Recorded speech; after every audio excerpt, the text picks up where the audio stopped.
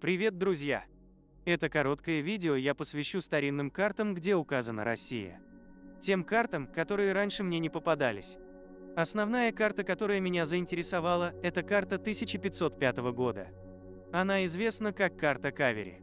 Карта создана Николосом де Кавери, эта карта находится в Национальной библиотеке Франции.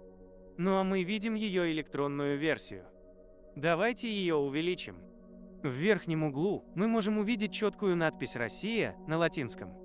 Причем Россия записана по византийскому типу. Через букву О. Надпись «Россия» находится в северной части Руси, в районе современного Великого Новгорода.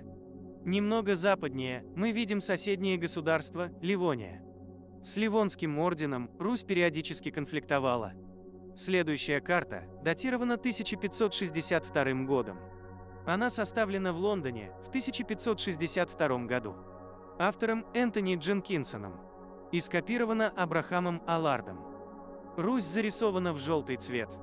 На карте можно увидеть города Руси. По мнению английского картографа, это такие города, как Новгород, Рязань, Вологда, Владимир, ну и, конечно, Москва. Они отмечены на карте как Новгородия, Рязания, Московия. То есть на латинский манер. При этом Смоленск и Киев указаны как земли Литвы. В верхнем правом углу интересная запись про русского царя. Он там указан императором Руси. Хотя официально он был царем. А это карта мира Хендрика Хандиуса. Датирована 1630 годом. Россия на ней указана, там где она есть и сейчас. Но интересно в этой карте то, что Московское княжество, или как написано на самой карте, Московия, находится на землях Южной Руси, немного севернее Крыма. Ну и последняя карта 1689 года.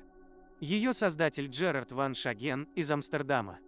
Она отличается своей красочностью и точностью для 17 века. Как видим, Россия на ней обозначена верно. Хотя и надпись «Московия» уже сместилась куда-то в район Ростова-на-Дону.